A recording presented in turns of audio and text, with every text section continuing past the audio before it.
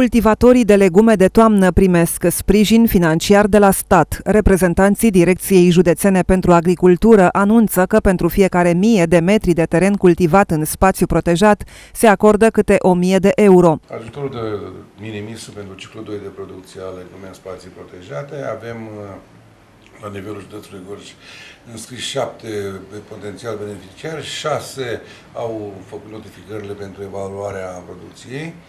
Avem uh, cultură de castraveți, tomate și ardei capia.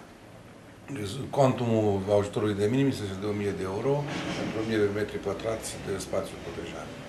Și pentru valorificarea producției să înceapă cu 15 octombrie până în 1 uh, decembrie. Legumicultorii care beneficiază de subvenția de la stat trebuie să realizeze o anumită producție impusă de normele în vigoare. Condițiile sunt uh, similare cu ciclul întâi, uh, să aibă 1000 de metri pătrați de spațiu protejat, să fie înregistrat la registru agricol.